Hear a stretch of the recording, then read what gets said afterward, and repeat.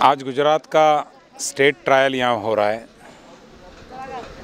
और मैं अनुभव कर रहा हूँ कि जिस प्रकार का टैलेंट यहाँ सामने आ रहा है, यानी सुना था कि सिद्धि ट्राइब भी यहाँ पे है और उसके भी कुछ बच्चे पार्टिसिपेट हो रहे हैं। कई अलग अलग प्रकार के आदिवासी बच्चे इसमें आ रहे हैं और गुजरात के हर कोने से यहाँ बच्चे आए हैं। मुझे लग रहा है इस टैलेंट में से कुछ अच्छा आगे आएगा। और मैं गुजरात सरकार का अभिनंदन करूँगा कि जिस प्रकार का स्पोर्ट्स में यहाँ स्ट्रक्चर खड़ा हुआ है, गुजरात स्पोर्ट्स अथॉरिटी नाम से एक स्ट्रक्चर है। बहुत बढ़िया स्टेडियम है और सिंथेटिक ट्रैक गुजरात के कई जगह पे है। अच्छा मौका दिया है सरकार ने।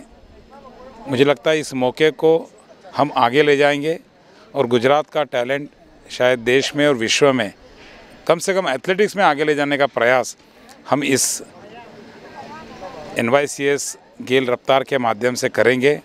मैं गुजरात के टीम को, गुजरात के सारे डी को, स्टेट रिप्रेजेंटेटिव को और गुजरात सरकार को मैं धन्यवाद व्यक्त करता हूँ। और इस टैलेंट को आगे जाने के लिए मेरी शुभकामनाएँ देता हूँ। धन्यवाद।